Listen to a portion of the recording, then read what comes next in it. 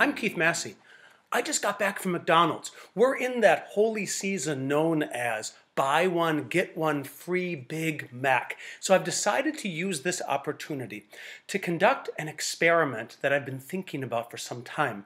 The question is, can you freeze a Big Mac?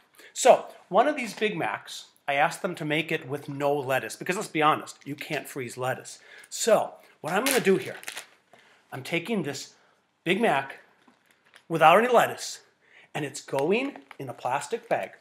I'm going to freeze this for a total of 24 hours as a proof of concept. I'm going to take it out, I'm going to thaw it, I'm going to try to microwave it like wrapped up in uh, napkins just to see if it heats up, whether or not it still is a viable Big Mac. I got them to give me a generous portion of extra special sauce that I'll be able to put on that Big Mac.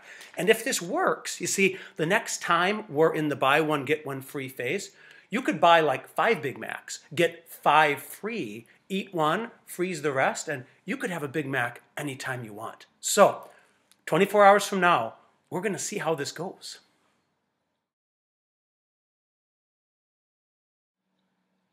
I'm back it's actually been 48 hours. Now, on Sunday, I had bought two Big Macs and gotten two free. I froze the one that you saw me put in the bag, but then as I was eating the Big Macs, I realized I didn't need three Big Macs in one day, and so I actually froze two.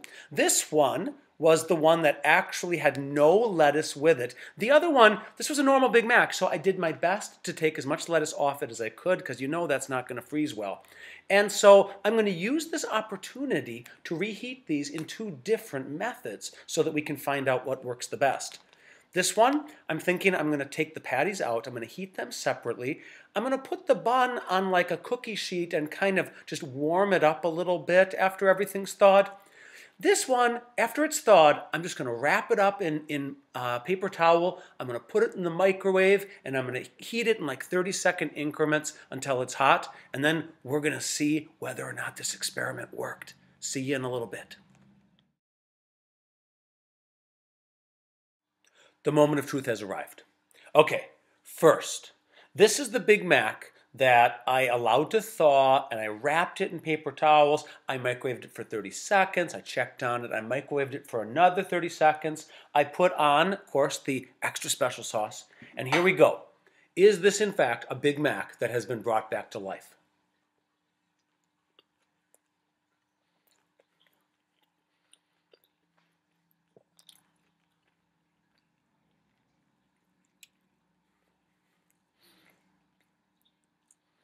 Um,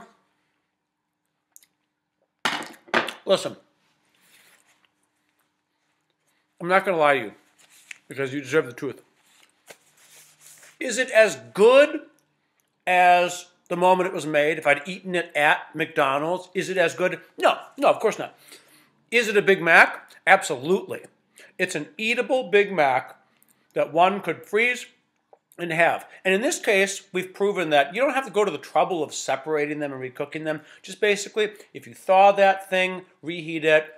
I personally would again say, if you gotta put some extra special sauce on it because that sauce is not heated when it's on the Big Mac. So get some extra special sauce, heat up your frozen Big Mac after it's thawed, and you're good to go. Now, here's the one where I went to the extra trouble. I divided this one up I cooked the meat separately, and then I reheated the three buns in the, the oven, basically, so they get a little more toasty. So let's see how this one did.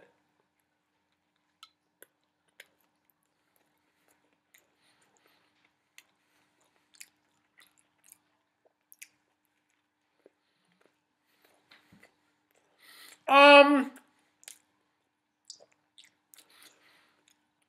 I would go to the trouble of dividing them up. This is a better experience than the other one. The other one was fine, but this is what I'm experiencing here.